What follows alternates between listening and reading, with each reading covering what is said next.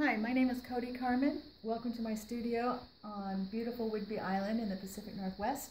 And I am just wanting to say a couple things about Jay Andrews, who helped me tremendously with my artwork. Uh, we'd see him every Wednesday at the San Diego Watercolor Society paintouts.